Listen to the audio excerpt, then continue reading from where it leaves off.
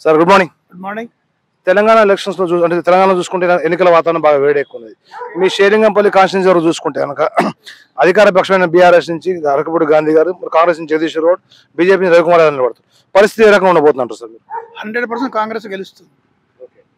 అంటే మీ ఎమ్మెల్యే గడిచిన తొమ్మిది తొమ్మిదిన్నర సంవత్సరాల కాలంలో చూసుకుంటే కనుక ఈ కాన్స్టిట్యూన్సీ తొమ్మిది వేల కోట్లతో అభివృద్ధి చేశాను. నాలాలు కానివ్వండి చెరువులు కానివ్వండి మొత్తం అభివృద్ధి చేశాను. రోడ్లు కానివ్వండి అదే ఇన్ఫ్రాస్ట్రక్చర్ పరంగా చూసుకొని బాగా అభివృద్ధి చేశాం. ప్రతి పదంలో తీసుకెళ్తున్నాం కాన్స్టిట్యూన్సీ అని చెప్పి అంటున్నారు దాని మీద మీరు ఏమంటారు సార్? మా అపార్ట్మెంట్లో యాభై కార్లు ఇంతవరకు పనికి రాలేదు. మొన్నటి వరదల్లో. కొంచెం వరద వచ్చినా కూడా ఈ main Deepti side main road నడిచే అవకాశం కూడా లేదు. ప్రపంచంలో ఉన్న చెరువులన్నీ ఇటే వస్తాయి. లింక్ బార్లు ఒక వంద ఉంటాయి ఇది అభివృద్ధి.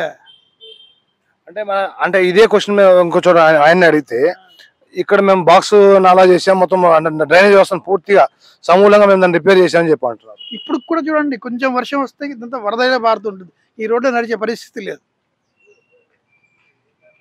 ఏ అభివృద్ధి ఉందని చెప్పండి. Any any D any DSC any TPSC అభివృద్ధి అంటే ఏంటి? రోడ్ డేటం అభివృద్ధి కాదు కదా. Have to generate the employment అది అభివృద్ధి. ఇక్కడే కాదు స్టేట్ మొత్తంలో కూడా చదువుకున్న వాళ్ళు ఓటు వేయడానికి వెనక ముందు ఆడుతారు. ఏదో నీకేదో నెలకు రెండు వేలు ఆసరా పెన్షన్ వస్తుందో ఆ ఓటు తప్ప అభివృద్ధి ఓటు అనేది ఎప్పటికీ పడదు. This my opinion thank you sir welcome